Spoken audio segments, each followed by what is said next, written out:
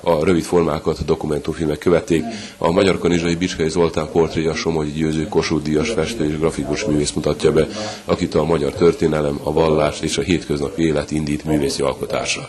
Ez körülbelül 80-ig tartott, akkor azt mondtam magamba, hogy hát én nem tartom be a papírlet szabályait, ebbe a modern korban egy egész másfajta emberiségi szellemet mutat föl. Egy olyat, ami újra fundamentum és alap lehet abban a korban, amikor minket minden nap az álművészet vett körül minden műfajban. Ez az első alkalom, hogy itt lehetek, mert ez a film, ez pont Sifri Zoltán egyik szervezése kapcsán belevág a programba. A budapesti Gulyás Tibor rajtam keresztül 73 perces dokumentumfilmje azt mutatja be, hogy napjainkban a sok gyermek komoly kihívás a szülők számára.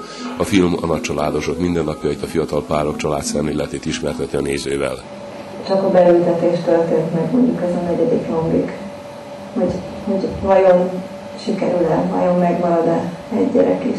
Ez a film fiatal nagycsaládosokról szól, arról, hogy lehet az élet szeretetét, a karriert és a és minden olyat, ami ahhoz kell, hogy az ember tovább lépjen, sok gyerek mellett is elvégezni. A Vajdasági Magyar Mozgókép mozgatórugója évről évre Sifri Zoltán vajdasági filmalkotónk azt mondja, egyre kevesebb pénz jut a filmeseknek, ám biztató, hogy ebben a térségben fiatal és tehetséges új filmes nemzedék sepeledik fel. Livka ilyen szempontból inspirálhatja eh, egyfelől a fiatal alkotókat, de mi magunkat is, akik évről évre, ha nehezen is eh, eh, készítjük el filmjeinket, hiszen nehezebben lehet anyagi támogatáshoz hozzájutni. A vetítéseket megelőzően a Vajdaság a Magyar Mozgókép napi alkalmából Livka Sándor melszobránál a Filmes Társaság Livka tisztelői és hozzátartozói helyezték el a megemlékezés virágait.